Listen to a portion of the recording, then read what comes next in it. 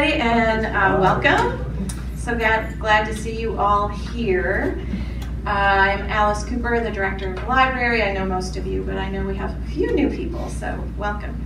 I just wanted to mention uh, this is our penultimate program.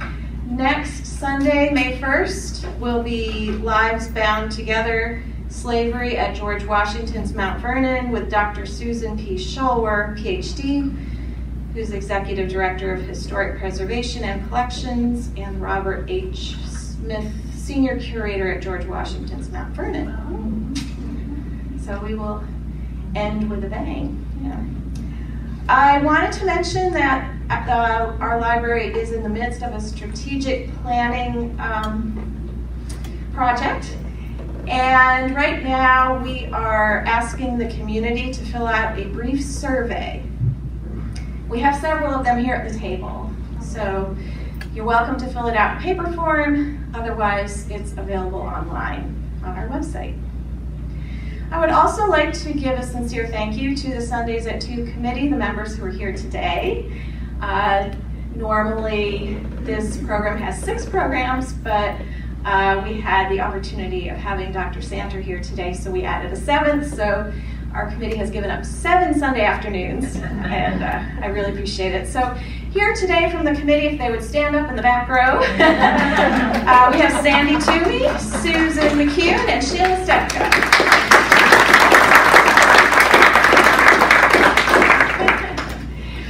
Many of you, I'm sure, also know uh, Shelly Robertson, who's our technology director. She definitely keeps us all straight. and I would like to give a sincere thank you to Bud Ward, who uh, came to us with the opportunity of having Dr. Santer speak today. Uh, Bud lives locally, but also lives large, I would say. Um, he's an environmental journalist and editor of the Yale Climate Connections. And he will introduce our speaker today. So thank you.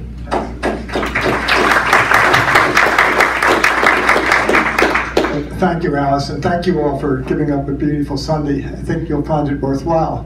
I'm confident you will. Uh, I have the real pleasure to introduce a person. Now, you're expecting me to say a person who? I'm just going to leave it at that. Uh, to introduce a person. Because uh, Ben Santer is, first and foremost, a person, a human being. Yes, he's a scientist. Yes, he's a climate scientist. And yes, he's without question one of the most revered climate scientists in the United States and in the world. No lie. In the United States and in the world. Top five. Uh, ben is. Um, most highly regarded by his colleagues as an ardent defender of sound science, scientific principles. And that's his passion. His only goal in life was to be a scientist, which he accomplished uh, spades over. Uh, in the midst of doing that, um, he became uh, recognized as a strong defender of, uh, of science per se. Uh, ben, very briefly, is a MacArthur Foundation genius grant recipient. If you know that, uh, that's something. I read on the internet that that was the same year that I was runner-up. uh, but I don't hold that against. Don't hold that against him. Um, ben uh, also is a member of the National Academy of Sciences, and you know the, the significance of that. He's been an author for the uh, UN and the World Health Organization uh, Intergovernmental Panel on Climate Change, that's IPCC. You've all heard about and continue to hear about it. He is the author, the single author most identified with IPCC's, that's the International Scientific Community's, first recognition that one, climate change is happening, and two, that it's us, it's humans. That's basically the quick synopsis of the findings in 1995, 96, that Ben was the principal negotiator and uh, the person most identified, for better and worse, with that language. It was considered at the time by the scientific community to be very conservative, um, very conservative statement, but politically, it was dynamite. And it's proved to be that. Um,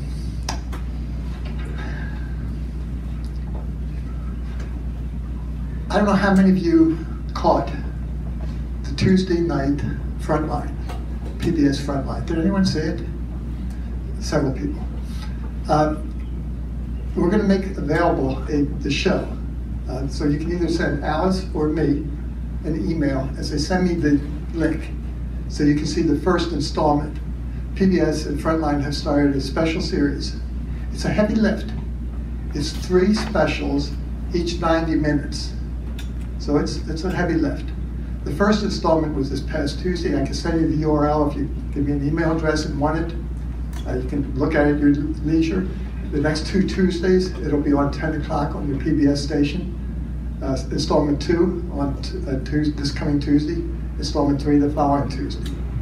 Uh, yes, Alice. But I'm sorry. Um, Shelley and I talked, and we'll make it available on the library website and on our Facebook page as well. Great. So people- Terrific, Alice. Thank you. Yeah, you're welcome. Uh, ben had, Ben's research is front and center of that first installment from the first minute, basically. Uh, and his role in it personally uh, comes in big time around 50 or 60 minutes into this first uh, installment. But I hope you get a chance to see it. It's historically significant. This is a great historical record of why, in the opinion of the editors of the PBS Frontline, we, humanity, haven't done our share to take care of the problem. That's basically the subtitle.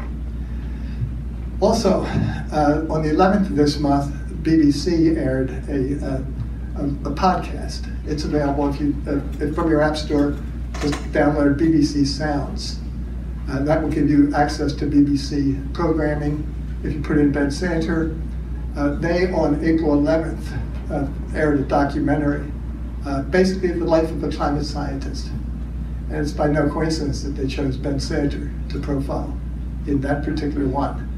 I think it's a shadow of the first installment of Frontline, which was amazing.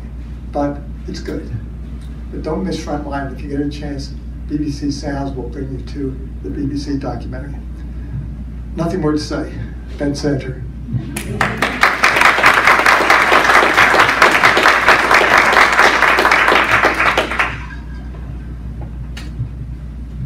Thank you for that very kind introduction, Bud. I had been threatening to visit Bud and Kathy here for many, many years. I finally followed through on my threat, and I'm just so delighted to be here today in your community and to have the opportunity to spend maybe three quarters of an hour talking to you about the science of climate change.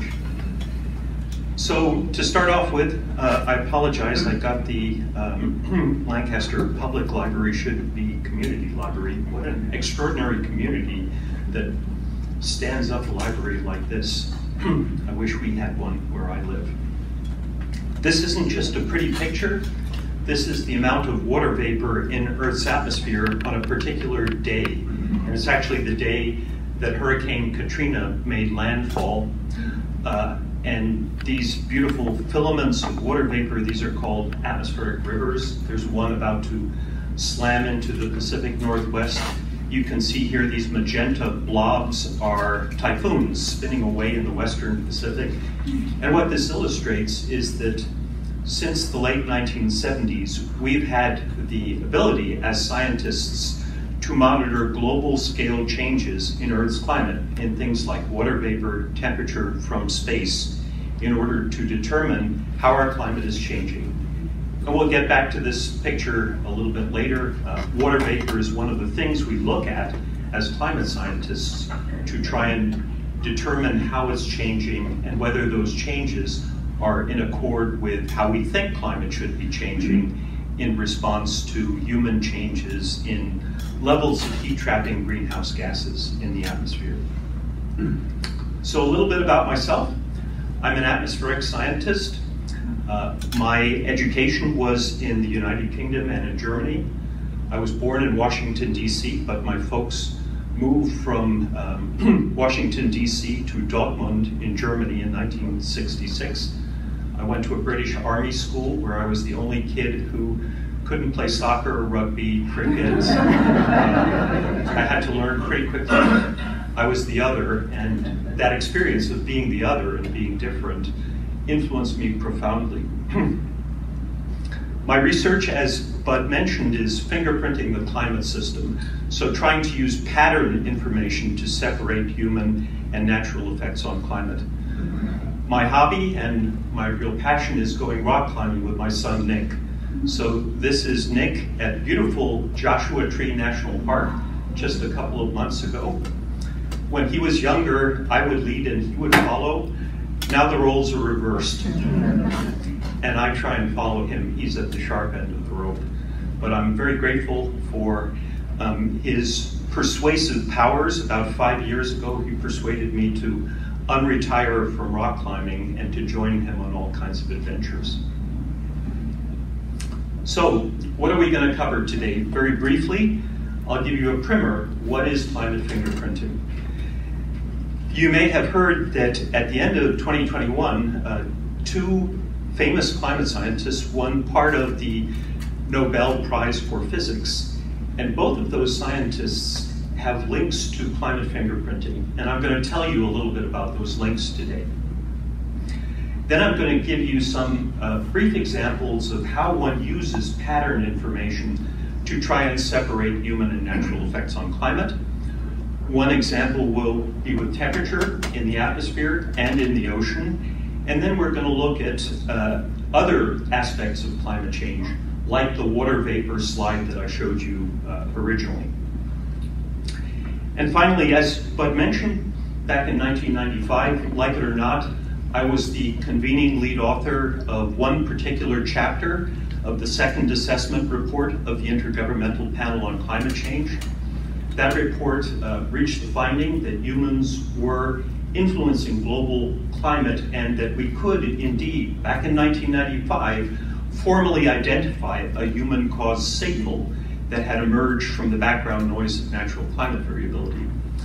Uh, that was a bad time for me personally. After that report was published, there were a lot of people and companies and countries unhappy with that finding, and I learned some powerful lessons, and I'm going to tell you a little bit about some of those lessons learned. Climate Fingerprinting 101. Bud mentioned the Intergovernmental Panel on Climate Change, or IPCC. They were set up in 1988 by the United Nations Environment Program and the World Meteorological Organization. Why? To advise the countries of the world what we know about the physical climate system, what we know about the impacts of climate change on things we care about, human health, agriculture, energy, and also mitig mitigation and adaptation strategies. So how might we uh, decide to adapt to uh, climate change that is inevitable, but also mitigate the worst effects of human-caused climate change that uh, we are responsible for. Their first report was published in 1990, and it essentially reached the bottom line conclusion that the jury is still out. I'll read it here the unequivocal detection of the enhanced greenhouse effect from observations is not likely for a decade or more. That was 1990. 1995, this is the report that I was involved with, and the bottom line finding could be summarized in 12 words, which are forever engraved in my memory. Quote, the balance of evidence suggests a discernible human influence on global climate. That was, as we'll get back to later, controversial. It was also historic. And subsequent IPCC assessments in 2001, 2007, and 2013 by different and independent sets of scientists affirmed and strengthened that cautious, even wimpy balance of evidence suggests finding and tried to quantify the size of the human effect on climate. Most recently, in 2021, October 2021, the sixth assessment report of the Intergovernmental Panel on Climate Change used this word unequivocal. It is now unequivocal that human fingerprints are evident in the land, in the ocean, in the atmosphere. So part of my job today is to tell you about this arc of history. How did we get from the jury is out in 1990 to unequivocal human fingerprints on the climate system in 2021? What was the scientific underpinning for that arc of history? Quick question. Yes, So you mentioned 1970, the beginning of the use of satellites to pull data that you could study. late 1970s. 18, 1970, so you're looking at about, what, 15, 20 years? Well, 10? No, Not very many years between the satellites and the beginnings of these reports. So the science that was being done at that point um, is what, is the beginning of what drove, what started. it's part of it. So Yeah. prior to the beginning of the satellite record, which Mhm. is late 1970s, much of the satellite data I'm going to talk about started in November 1978. You have surface temperature measurements at uh, hundreds, thousands of locations around the world. Some of those go back to the 1900s. Some of those, particularly at European cities, go back for hundreds of years before that. Think Rome, think um, Kew Garden in the UK. So there is measurement information from individual stations, primarily in the Northern Hemisphere, about surface temperature changes that goes back to the 1880s. And indeed, not only about temperature, but about surface pressure patterns, uh, about rainfall that is also available at individual locations. But what happened in the late 70s was this transition from local and regional measurements of climate to truly global scale estimates of climate change. Plus the use of computers to punch. Yeah, which is what I'm going to get to here, but thank you for uh, um, clarifying that. And we'll get to, we'll get to the satellite data a little bit later. So again, how did we get from the jury is out to unequivocal fingerprints? Back in the 1990s, uh, there were a few computer models of the climate system, maybe only less than a half a dozen that were being used around the world. And most of them were relatively primitive, particularly in their representation of the ocean and the interactions between the ocean and the atmosphere, how oceans take up heat when the atmosphere warms and how oceans release heat in different ocean basins during El Ninos and La Ninas. Now, today, pretty much every country, uh, every major country in the world has its own computer models of the climate system. These are much improved relative to the 1990s. These has representation not only of the oceans and the atmosphere and sea ice, but also ice sheets. Think Antarctica, think the Greenland ice sheet. Also the carbon cycle and how uh, the land biosphere, for example, trees and plants, uh, interact with carbon in the atmosphere, how the oceans and ocean biogeochemistry interacts with uh, atmospheric greenhouse gases. So these are, uh, as we call them now, Earth system models. They try and simulate all important components of the climate system. We have a better understanding now in 2021, 2022 of the factors that influence climate.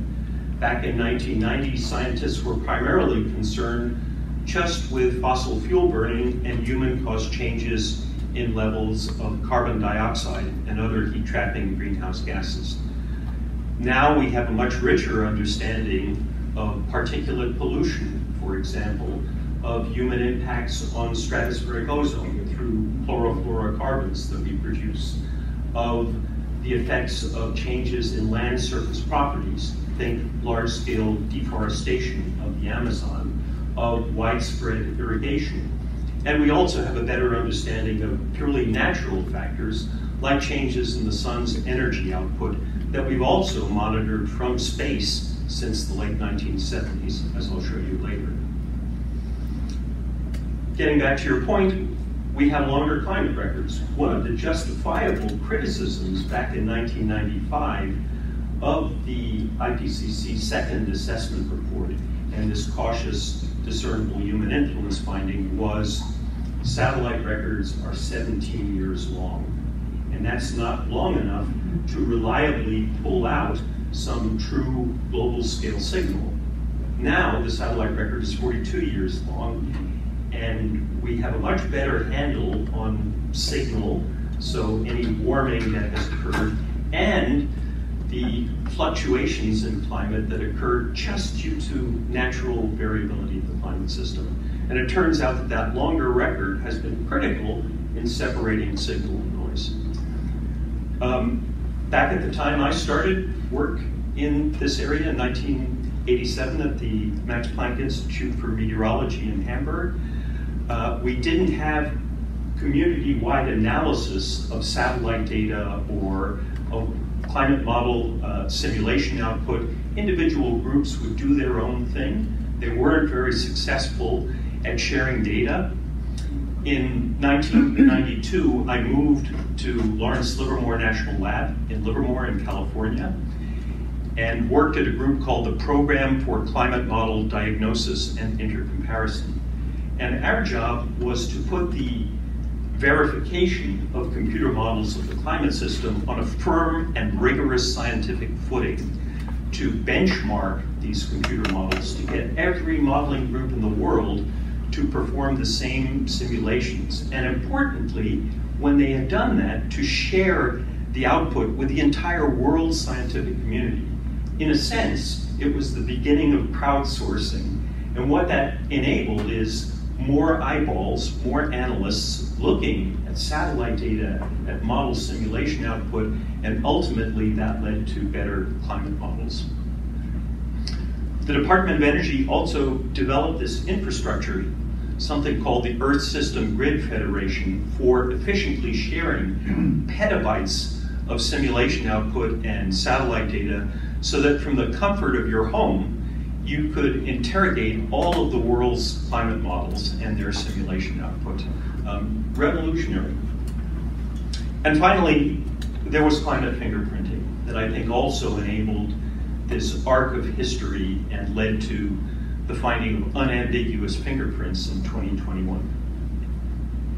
So what is climate fingerprinting? The basic idea is that different influences on climate, the sun, volcanoes, human-caused greenhouse gas changes from fossil fuel burning have different characteristic patterns of response. And those differences are easier to discern if you look beyond, say, one number, the global mean temperature of Earth's surface, and look at these complex altitudinal patterns, say, through the entire vertical extent of the Earth's atmosphere, or, as I'll show you, patterns through the depths of the oceans. When you look at pattern information, it's like in fingerprinting. You can more easily separate different categories of thing. And that's in fingerprinting, there are these different categories, loops and whorls and arches and various subcategories. And forensic scientists look at this kind of information in order to get information about whether someone could or could not be responsible, be culpable for something bad. I'm going to give you a quick example here. So this is a slice through the Earth's atmosphere, and we're looking from the North Pole to the South Pole, and we're looking from uh, close to the Earth's surface right up to 30 kilometers above the Earth's surface. Now this is a computer model calculation from our colleagues at the National Center for Atmospheric Research in Boulder, in Colorado. And the beauty of computer model simulation is you can do what Einstein called Gedanken Gedankenexperimente, thought experiments. You can use a model to do the thing that you can't do in the real world. So what did they do here? They just changed the sun's energy output in this climate model according to our best understanding of how the sun's energy output had actually changed. And we think that over the 20th century, there's been a slight uptick in the sun's energy output, which essentially means more sunlight arriving at the top of the atmosphere and heating, which is why you see these yellow to red colors here throughout the full vertical extent of the atmosphere. Now there's a little blue here over the poles. The poles are noisy, And this increase in the sun's energy output is thought to be very small. So it's not a big signal, which is why you get a noise, um, noise here at the North Pole and at the South Pole. But the bottom line is this is the fingerprint of a slight uptick in the sun's energy output, according to this particular model.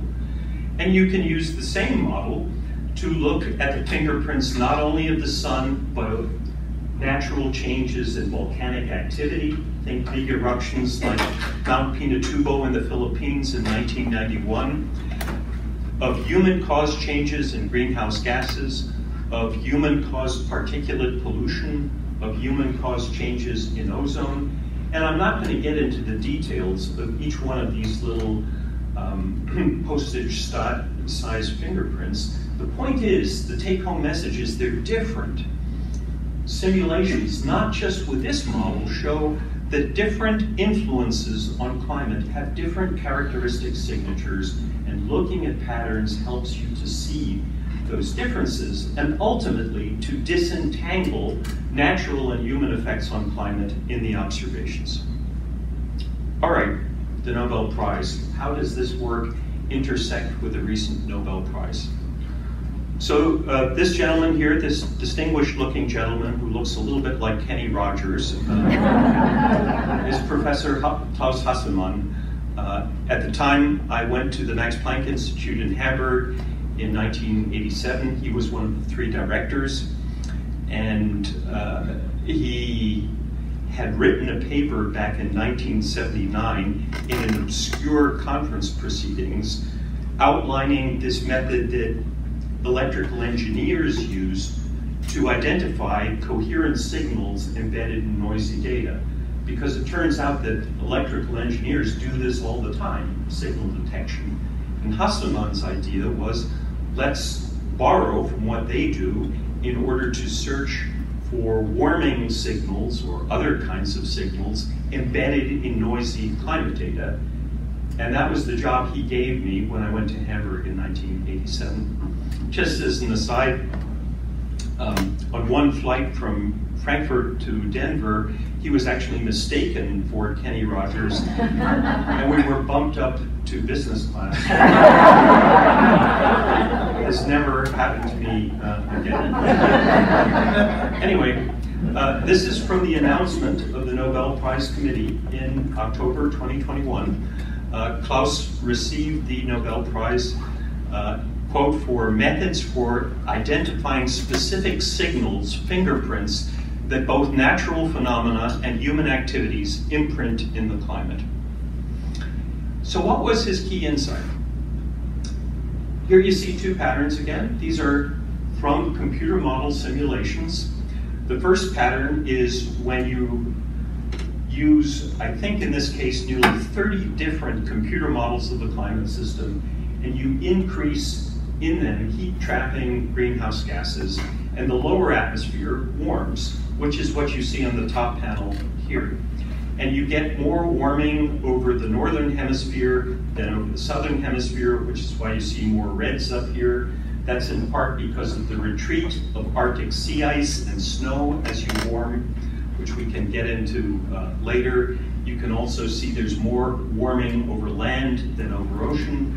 It Turns out that land is easier to warm than ocean for the same energy input. Uh, and this pattern here is when you use the same models, but you perform so-called control runs with them. What are those? Those are simulations where there are no changes in greenhouse gases or particulate pollution. The models just simulate their own rich internal variability of the climate system. Think things like El Ninos and La Ninas. And in fact, that's what you see here. This pattern uh, is very reminiscent of the impact of El Nino on the temperature of the atmosphere. What Hasselmann realized was that up to 1979 and the early 80s, people were not looking at patterns. They were looking at individual locations. So if you look up here in Alaska, there's a lot of warming up here in these model simulations. But the noise of natural climate variability is much larger than the signal. And noise kills. if you're trying to identify some signal. But if you move beyond the local here and look at the entire pattern, then it's obvious these are now satellite observations, so not computer model calculations, but satellite observations of warming over pretty much the full satellite era, 1979 through to 2018. The satellite data show many of the features that we see in the human influence fingerprint. More warming over the northern hemisphere than the southern hemisphere, particularly large warming over the Arctic. Uh, and it's clear, even without doing the fancy statistics that we do, that the search for human influence fingerprint is far more similar uh, to the satellite observations uh, than it is to this pattern of natural climate variability. Yes? Okay, forgive me. No, go So- ahead. So one of the things that, that jumps out at me about the human fingerprint, I've never thought about this before, what is the population of the northern hemisphere versus the southern hemisphere? And I would suspect there is a lot more people in the northern hemisphere than in the southern hemisphere. Well, I think you're right. There are a lot more people in the northern hemisphere than in the southern hemisphere. But carbon dioxide is fairly well mixed in the atmosphere. So there isn't a big distinction in carbon dioxide in northern hemisphere versus southern hemisphere. For other greenhouse gases like methane, for example, that's not the case. But carbon dioxide is, is pretty homogeneously distributed in the Earth's atmosphere. Is that? That, no, that's an interesting, that's an interesting thing to think about, so. Yeah. Anyway, you get the point I'm trying to make here that Hasselmann's um, simple insight was don't look, as other people had done, at individual locations on the Earth's surface. Take a step back and look at the entire pattern. And that will make it easier to discern whether there's some similarity between this search for human influence fingerprint and the actual observations. Then we get to this gentleman, uh, Suki, Suki Manabe, uh, one of the founders of climate modeling, uh, still affiliated with the Geophysical Fluid Dynamics Lab in Princeton.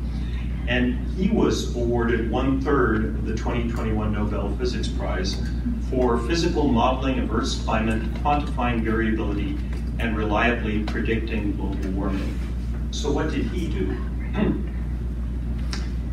In a very uh, historic paper published in 1967 with his colleague Richard Wetherald, also at the Geophysical Fluid Dynamics Lab, they used a simple climate model which basically just looked at different layers of the atmosphere, but only looked at global average temperature. And they increased atmospheric CO2. Um, they, they went uh, to quadrupling, basically, from 150 to 300 to 600 parts per million. And when they did that, they saw that the lower atmosphere warmed, the atmosphere more effectively trapped heat lower down, less heat reached the upper atmosphere, so the upper atmosphere cooled. Now, importantly, this is predictive. So this is before the satellite data in the late 1970s. This paper is 1967. We do have some weather balloon measurements of atmospheric temperature, but back then, in the 60s, most weather balloons don't have the structural integrity to get above about 20, 25 kilometers. They burst. So we don't really know what's happening up there. This was a true prediction, and one of the things our group did when I moved to Livermore uh, in 1992 was to look at this prediction, to look at whether Suki Manabe and Dave Wetherald were, were right. And that's what we're going to get to now, very briefly. So this is global mean temperature. So this is an average, literally, of millions of land surface thermometer measurements over oceans, ships of opportunity, uh, buoys, more recently satellite data. And this group is now called the National Center for Environmental Information. They're in Asheville in North Carolina. There are about three or four other groups that try and compile these estimates of global scale changes in, in surface temperature. And this, like all the other groups, shows warming of roughly two degrees Fahrenheit since 1880, uh, about 1.1 degrees Celsius. And one of the claims that I frequently hear, and I'm sure you have too, is that this warming is real, but it's all natural. It's all due to some uptick in the sun's energy output. So how might fingerprinting help us to address that claim and see whether it's a reasonable claim or not? Obviously, this isn't drawn to scale. This is a sort of Homer Simpson view of the universe. My apologies. And in particular, it's a Homer Simpson view of the thickness of the Earth's atmosphere. But just suspend your disbelief for a minute and imagine if this claim that all of that surface warming I just showed you is due to a more active sun, what is the logical, inescapable consequence of assuming that thing? More active sun, more sunlight arriving at the top of the Earth's atmosphere, and like in that sun-only fingerprint I, I showed you earlier, you'd expect to see heating throughout the full vertical extent of the atmosphere. So the next question is, when we look through the atmosphere, what do the satellite data actually show us? Do they show this kind of sun-only fingerprint or not? Since November 1978, we have these beautiful microwave sounder measurements of atmospheric temperature. These are measurements from um, polar orbiting satellites, and they look at the microwave emissions from oxygen molecules. And those emissions depend on uh, different temperatures of the atmosphere, different layer temperatures, and by measuring the different microwave frequencies, you can back out the temperature of the lower atmosphere, mid mid-atmosphere, the, the stratosphere, and reconstruct the vertical uh, pattern of temperature change, which is what you see here. There are about four groups around the world that do this complex work. This is from a group in California called Remote Sensing Systems. And again, we're looking at a slice through the atmosphere, but now in the satellite data, importantly, not in computer model simulations. We're looking from the South Pole to the North Pole, and this is virtually over the entire 42-year uh, satellite record. I didn't have time to add 2021 to this, but the kicker, the, the take-home message is that this pattern of temperature change is consistent with a prediction made by Manabe and Wetherald over 50 years ago. It shows warming low down, with largest warming over the Arctic, where we've seen this nearly 50% decrease in the extent of Arctic sea ice and the thickness of Arctic sea ice. And it shows cooling of the upper atmosphere with largest cooling over Antarctica, where we depleted uh, Antarctic ozone through production of chlorofluorocarbons. So this pattern is fundamentally inconsistent with the hypothesis that all of the surface warming I showed you, roughly two degrees Fahrenheit since 1880, is due to an uptick in the sun. The next time someone says it's all due to the sun, I would ask you to um, ask them, well, why is the stratosphere cooling then if all of the surface warming is due to the sun? But of course, we don't only look at one thing, at one piece of evidence. We would be remiss as scientists if we did that. So in addition to this kind of fingerprint evidence, um, and we, we found the Manabe predicted fingerprint both in weather balloon data in 1996 and in satellite data in 2013. But additionally, we also look at other, what you might call complementary variables, which is what you see here. So this red line, these are also satellite measurements, but these are looking at the sun. And these are measurements of the sun's energy output, a quantity called total solar irradiance. And you can nicely see this cycle here. That's um, the sunspot cycle. Uh, more sunspots, you have more um, solar irradiance, so more solar energy output. Uh, solar minimum here, fewer sunspots, fewer energy out, output. And this is global mean temperature from thermometers and from satellites. So over the period we've actually monitored the sun's energy output from space, there's been no overall increase in that energy output, but the surface has continued to warm. And that's another fundamental difficulty independent of the satellite temperature data that you face if you posit all surface warming is due to the sun. Um, may I ask a question on that, on that graph? Sure, of course. Could you explain what you mean by surface temperature anomaly? Right. So typically, people define departures from some normal climate.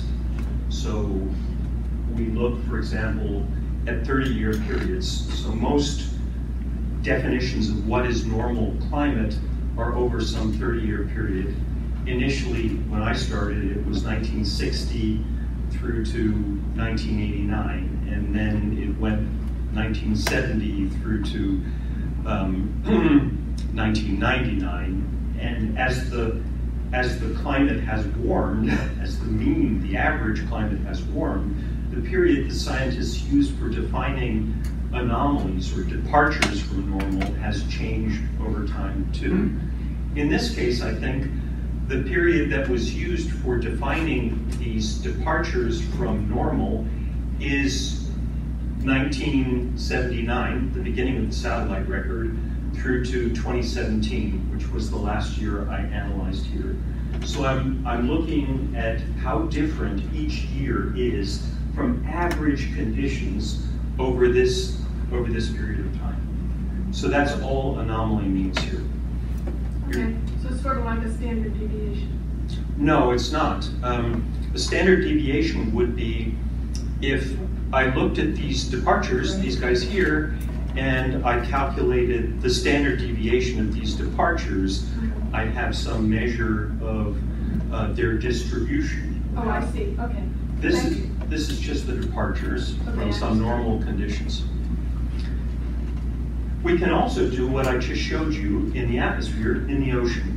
This is from a paper led by my um, colleague Tim Barnett uh, at the Scripps Institution of Oceanography. And this is looking in the ocean from the surface down to 700 meters. And what we did in this paper uh, that Tim led was to look at ocean temperature measurements from these things called bathythermographs that you throw over the side of the boat and uh, you make measurements as these things go down of ocean temperatures and salinity. And this is over the period, uh, roughly the second half of the 20th century. The same climate model from the National Center for Atmospheric Research that I introduced initially was used for performing these simulations in blue here, where you don't change greenhouse gases. And because of natural climate variability, you can get some cooling uh, or some warming. And the green envelope is when you run this parallel climate model with human caused changes in greenhouse gases. Again, without doing any fancy statistics, it's pretty obvious that the surface warming, which um, gets smaller the deeper you go down into the ocean, is only captured when you increase greenhouse gases. It's not captured through natural climate variability. And you can look at this not only in the North Atlantic, but for every ocean basin. Here's the South Atlantic, for example, the South Pacific, and you can see that in the simulations and in the observations, because of different currents at different depths, sometimes the, uh, the observed temperature changes as you go deeper into the ocean are rather complex. And actually, this model does a creditable job capturing them. But the blue envelope, the nature only envelope with no changes in greenhouse gases, obviously doesn't do a, a good job, particularly in the upper ocean, capturing the observed warming of the oceans. So, this is another sanity test, if you will. We look not only at one variable, we look at many different variables. One of the criticisms of the discernible human influence finding back in 1995 was it is primarily based on temperature, so look at other things, uh, convince us. And I'm reading here uh, a comment from one scientist made a couple of years after the IPCC's second assessment report was released. If there really is a discernible human influence on global climate, it should be evident in many different aspects of the climate system, not just in temperature. So, what we did is we looked at water vapor, and in papers published in 2007 and 2013, we showed that there is a, moistening of the Earth's atmosphere. As we're warming it, we're moistening it, and that moistening signal could only be explained by human caused changes in heat trapping greenhouse gases.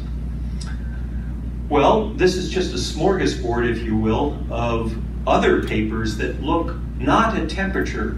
I'm just highlighting them here. These are papers in the most prestigious scientific journals Nature, Science, Proceedings of the National Academy of Sciences, atmospheric moisture content, human influence on global precipitation, surface humidity, runoff from major river basins, more intense precipitation, heavy rainfall, surface pressure, moistening of the Arctic, human caused changes in stratospheric ozone, ocean salinity.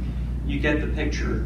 Scientists responded to that criticism of the second assessment report of the IPCC. You are only looking at temperature by looking at dozens of different independently monitored variables.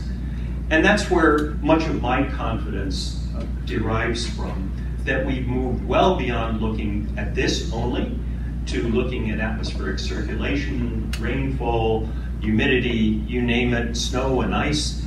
And importantly, all of these things are independently monitored. This is not one group at Lawrence mm-hmm. Livermore National Lab making these measurements. These are hundreds of groups around the world making measurements from the ground, from space, using weather balloons. And it's the internal and physical consistency of the story they are all telling us that is so compelling to me. Just finally, lessons learned. so, as Bud mentioned, 1995, November, the IPCC has been working for one and a half years on the second assessment report. The governments of the world roughly 100 of them, and the scientists involved in the report meet in this beautiful Palacio de Congresos de Madrid with this wonderful Miro mural on the outside of the building. And at the end of the meeting, this is our bottom line conclusion. Again, these infamous 12 words. The balance of evidence suggests a discernible human influence on global climate. Like it or not, the buck stops with me. I'm the convening lead author of the chapter in the report in which this finding is situated. Uh, after the report was published, a lot of bad things happened. I was investigated by Congress. There were calls for my dismissal with prejudice from my position at Lawrence Livermore. It was rumored that I was going to be indicted by the Hague International Court of Justice for, quote, falsification of international relevant scientific documents, unquote, I learned a lot of powerful lessons. One was that the buck did stop with me. I was a representative of the scientific community. I did not have the luxury of retreating to my office, closing the door, curling up in a fetal position, and hoping that the bad stuff would go away. I had to explain what my colleagues and I had done, what we had learned, what the nature of the scientific evidence was, that underpinned that discernible human influence conclusion, and I've taken that responsibility very seriously ever since. I'm just going to show you um, briefly these four lessons learned. One was defend scientific understanding. As I see it, there's no point in being a scientist if you're unwilling to stand behind the technical work that you and your colleagues do. Never engage in science by eminence of position. Trust me, I'm a scientist at Lawrence Livermore National Lab. You're wrong. Do the science required to address the criticism. You posit that it's all the sun that explains surface warming? Well, let's look at that. Uh, you claim that the fingerprint is only detectable in temperature? We'll look at that and we'll come back to you. And that's what we did, and I'm proud of that. Don't just preach to the choir. Much of my research was, almost all of my research was funded by the US Department of Energy. I have to be accountable to the public to explain what we did with the funding we received, what we learned, and why it matters to others. And that meant that I had to go way, way outside of my comfort zone and often speak to audiences very skeptical about me and about everything that I do in order to answer their questions. And I'm going to show you one particular example of that. Uh, and then we're going to get to declaring your values. Yes? It would seem that status quo attacks any new findings that, that,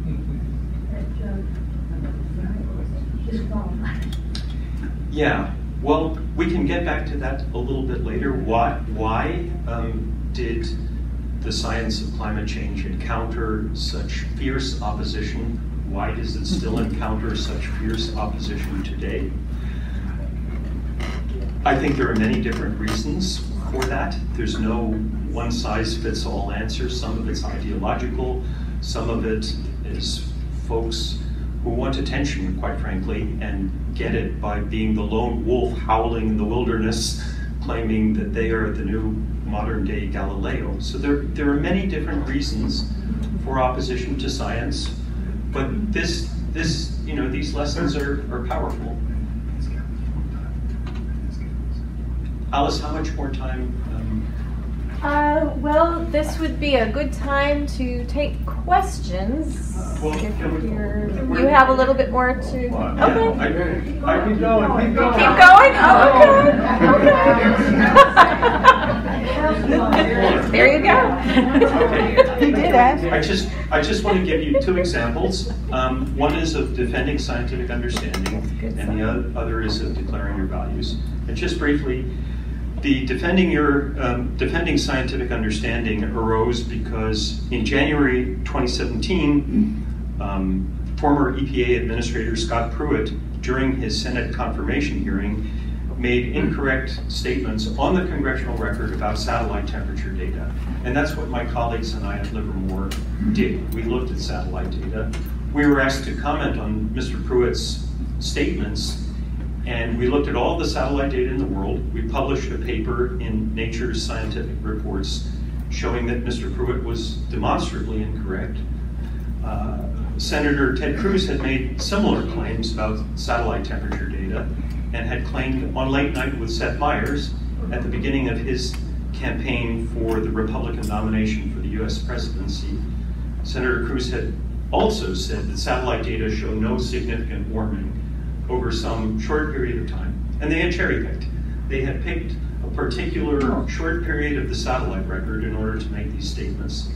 So in fact, we published two papers, one in response to Senator Cruz, one in response to Mr. Pruitt. And after the Pruitt paper was published, uh, Seth Meyers contacted me and asked me to go on the program to set the record straight, to respond to Senator Cruz's claim about the satellite data. And if this works, I'm going to try playing you a roughly 90 second clip from this terrifying seven and a half minutes on the late night. yeah, really, it was terrifying. This was way outside of my comfort zone, and if it takes a village to educate a child, it sure took a village of generous people like Bud to prepare me for those seven and a half minutes of pure terror. Here we go. You, you remain optimistic, and I'm happy to hear that. But where are you finding optimism right now, considering uh, the sort of uh, deck that's stacked against you? Well, it seems like a real teachable moment.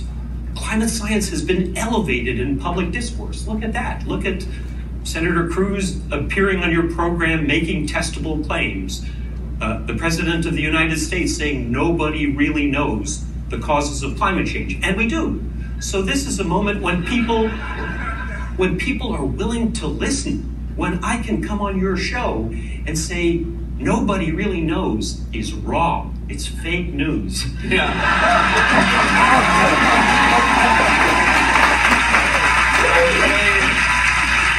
So,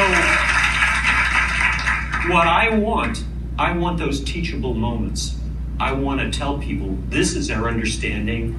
These are the likely outcomes if we do nothing about the problem of human caused climate change. And let's have a respectful, honest debate on what to do about it. But let's not dismiss this incorrectly as a hoax or a conspiracy. We all lose if we embrace ignorance with open arms. Well, I couldn't agree with you more, and thank you so much for making the time. It's fantastic to have you here. Everybody. We'll be right back.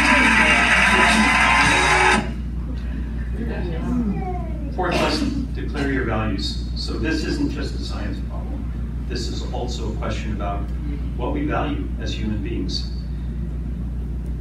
I declared up front, I'm not only a climate scientist, I'm also a climber. This is from Camp 18 on the Juneau ice field in Alaska. I've been privileged to do research there for about the last eight years or so. And over my lifetime as a climber in these beautiful, fragile, high alpine environments around the world, in the Alps, in the North Cascades, in the Himalayas, and more recently in Alaska in the Juneau ice field, I've witnessed profound changes in glaciers. One of the glaciers I stood on as an 11 year old kid with my dad near the Großglockner in Austria is now almost gone. We need to have some discussion not only about causation, not only about fingerprinting, but also about how we are diminished as humans if we lose these places or rainforests or coral reefs. What does that mean? let's talk about those values as well as about the scientific values of getting the science right. So thank you very much. I, am so grateful that you gave up such a beautiful Sunday afternoon to listen to me drone on here, and I'm happy to answer any questions you might have.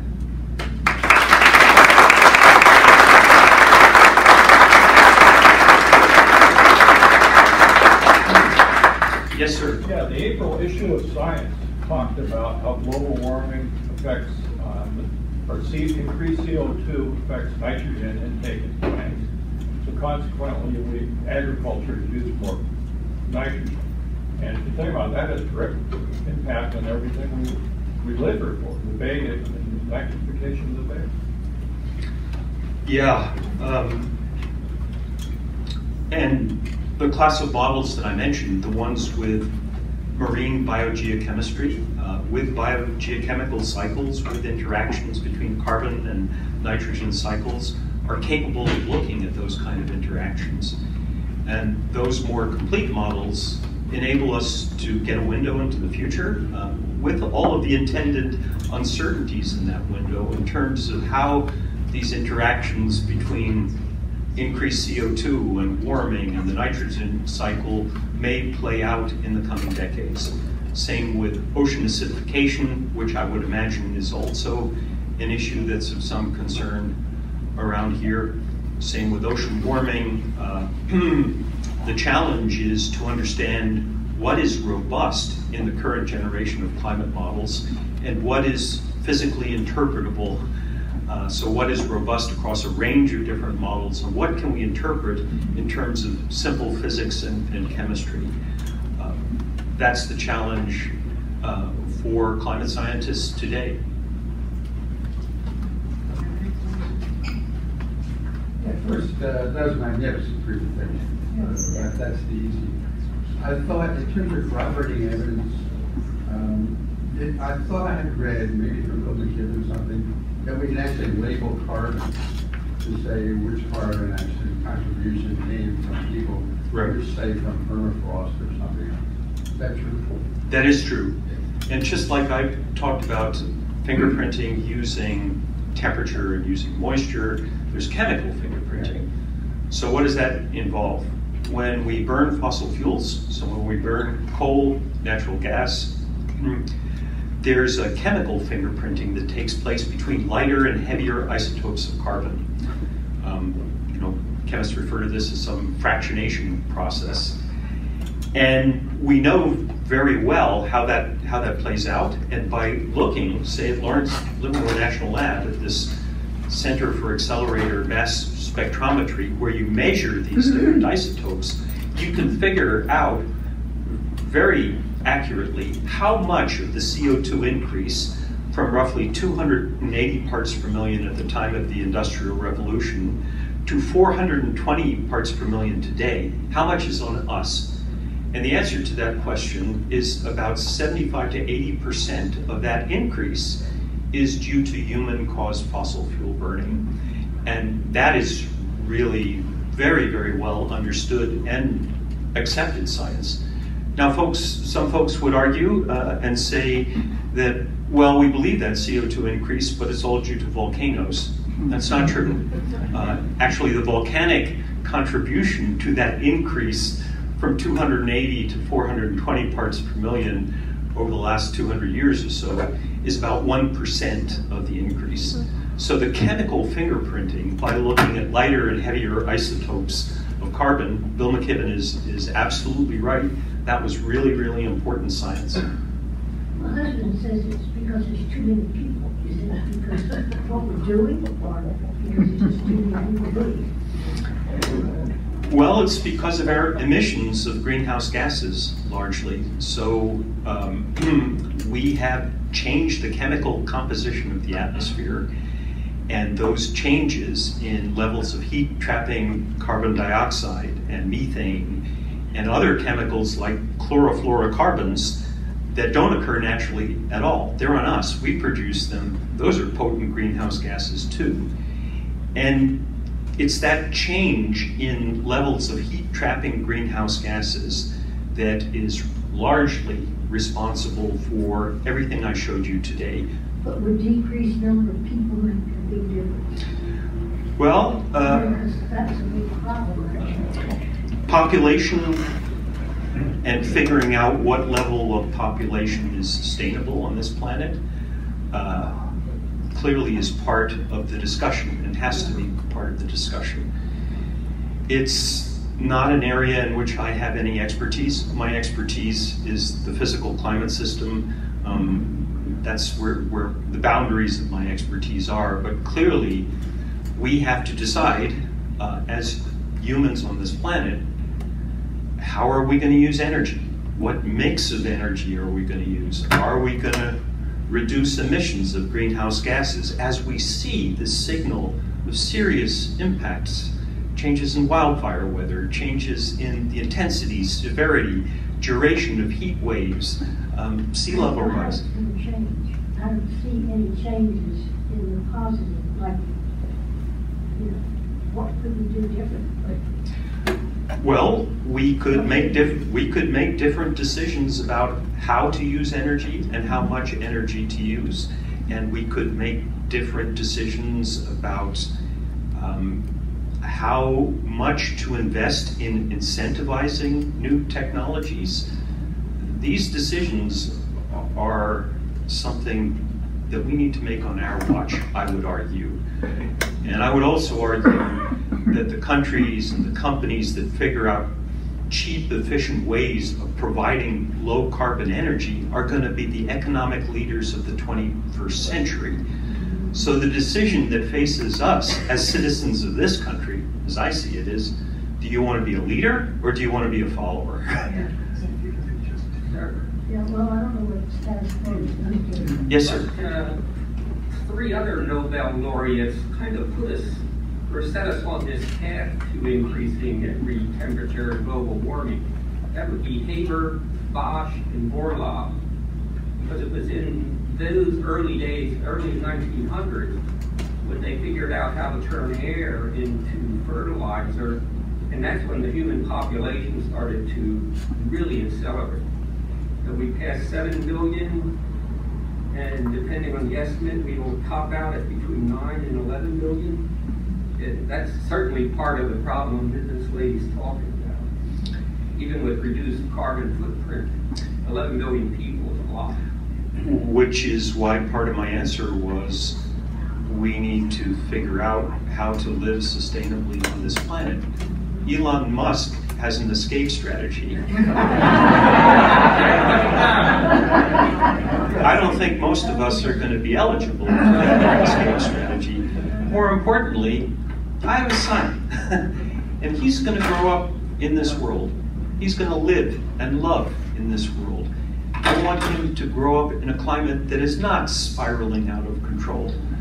I do not want to have a conversation with him 10, 20 years from now. Dad, you're a climate scientist. Why didn't you do more? You knew. You knew the likely outcomes. Why did you not do more to alert people to the credibility of the science, the, the reality and seriousness of climate change? That's part of my job too, to have these kind of discussions about the science, which is what I'm most comfortable with. But clearly, we also have to have discussions about population and use of energy and values, human values. What, you know, how are we diminished if we lose coral reefs and rainforests and glaciers? What does that mean? Nothing.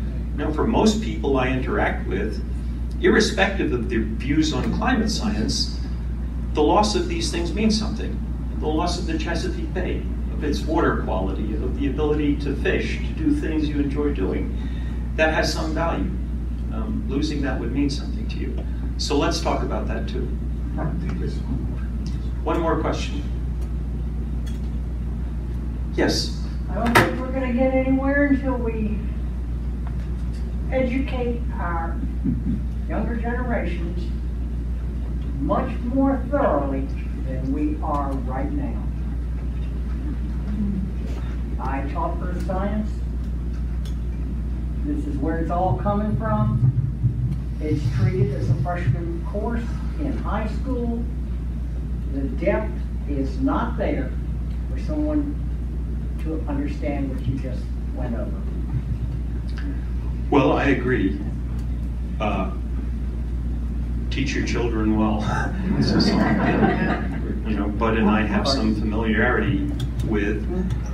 And if we don't give kids in particular the understanding of basic science, if they don't understand what's stake, at, at stake here and, and what their role is in electing next generations of leaders, then we're going to fail. And I don't want us to fail. I'm involved with the National Center for Science Education. Uh, I have been involved with them for over 10 years. What they try and do is to ensure that climate science is well taught in our schools, which is a tough sell in certain states of this of this country that do not. No, it is. I, I'm, I'm not trying to be. So that's the truth, and they try and ensure that every kid, no matter where they were born in this country, has access access to sound scientific information about climate change. And I, I would say, based on the surveying work that is regularly done in terms of how and how much climate science is taught in our schools, that's a tough job, but it's getting better. And just because it's tough doesn't absolve us from the responsibility of continuing to plug away. And that's what, as I said on Seth Meyers, I want. I want those kind of opportunities to speak in front of junior high schools and high schools, and I do that because ultimately they're going to be the next generation decision makers.